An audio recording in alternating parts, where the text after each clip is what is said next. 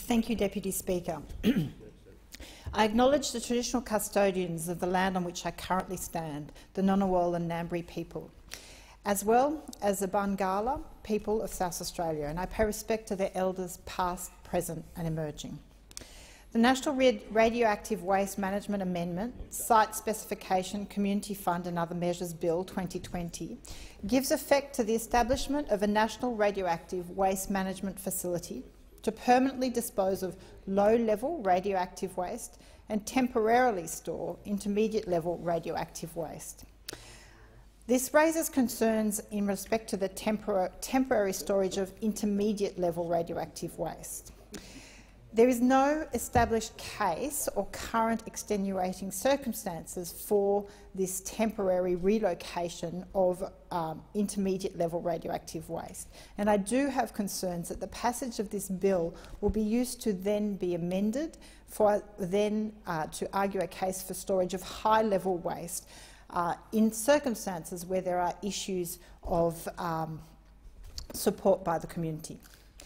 Now, the bill would specify the site on which the facility will be established and operated, which is in Nap Napandee, located, located in the District Council of Kimba in South Australia. The facility will allow for a single repository of Australia's nuclear medicine and research waste at this time, um, which has been sited over diverse geographic areas over many years. And currently, it is, that is an issue. Nuclear medicine is particularly important to the Australian people. Many will need this in their for, lifetimes for screening for various diseases and ailments.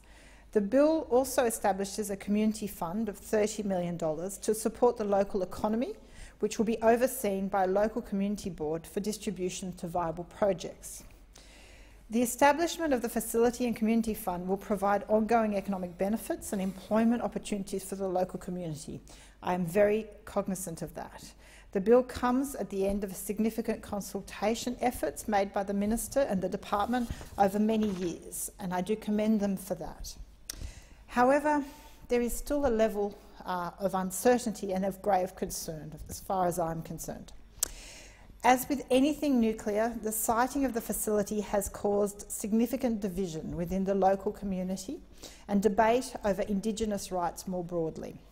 Article 29 of the United Nations Declaration of Rights for Indigenous People explicitly requires status, states to take effective measures to ensure that no storage or disposal of hazardous materials shall take place in the lands or territories of Indigenous peoples without their free, prior and informed consent. The standard of free, prior and informed consent is identified as part of Australia's binding human rights obligations under Articles 2 and 5 of the International Convention on the Elimination of All Forms of Racial Discrimination. The land on which the facility is sited covers the native title area of the Barngarla people. The Statement of Compatibility on Human Rights provided states that native title rights have been extinguished at this specified site. However, Aboriginal heritage, either tangible or intangible, may still be present. Whilst the department has made admirable efforts to consult with the Barngarla people, consistent with the components of free, prior and informed, but the facility still does not have their consent.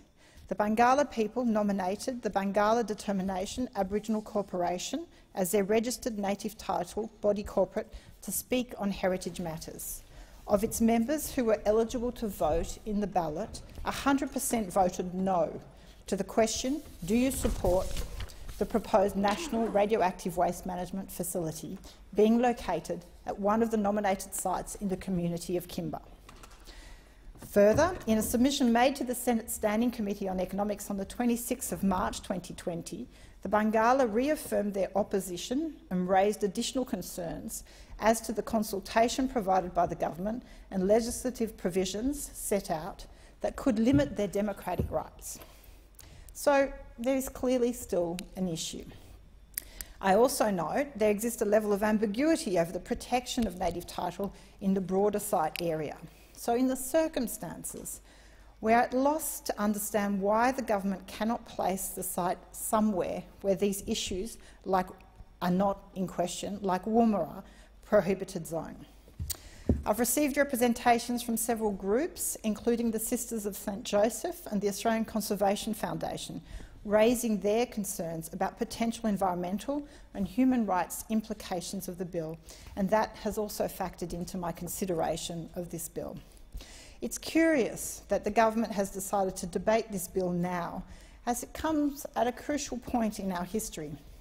The death of George Floyd and resulting protests in the United States has highlighted entrenched racial bias and inequality and has created shockwaves in countries around the world with their own troubled histories. And Australia is not immune. We rectify our history by listening and enabling Indigenous Australians to chart their own destiny, which is why I support constitu constitutional recognition of Indigenous Australians, and I strongly urge the government to hold a referendum on this issue and legislate an Indigenous voice to Parliament consistent with the Uluru Statement from the Heart as soon as possible. The Uluru Statement ends with an invitation. We invite you to walk with us in a movement of the Australian people for a better future. The sentiment is so selfless and empowering to be invited to share in the history and culture that reaches back 65,000 years. This is a moral choice for all Australians to make. What kind of Australia do we want to be? The recent blasting of the 46,000 year Juukan Cave by Rio Tinto and reports of further consideration of destruction of Indigenous sites by other mining companies demonstrates that we need the voice now more than ever, and we're far from that ideal that, as it's set out in the Uluru Statement. Which brings us back to this issue. I'm sympathetic to the economic benefits of the Kimba district and the general need for the local non-Indigenous community that this bill will create. However, the facility clearly comes at the objection of the Barngarla people. it also undermines the spirit of the bipartisan commitment this government has to pursuing the goals set out in the Closing the Gap reports and the spirit of the Uluru Statement. So considering this, again I repeat that the ask that Minister Wyatt devise the question and publicly commit to a referendum on the voice to Parliament without delay and that the referendum be put to the Australian people during 2021. It's also clear from the events recently that the Prime Minister should urgently convene a national cabinet to discuss Black Lives Matter, inviting experts from the Indigenous community to agree to a national plan of action to address Indigenous deaths in custody and incarceration rates. This is all forms part of the issue of how we do all walk together for a better future. So put yourself in their shoes in considering this nuclear waste facility against the local uh, Indigenous people's wishes. They've been ignored for generations. Imagine their sense of hopelessness, despair and despondency as they are continually overruled. Consistent with the voice and the sentiment expressed by the Uluru Statement, I will not support this bill. The turning point for our regard for Indigenous Australians is now and starts with rejecting this bill. I thank the member.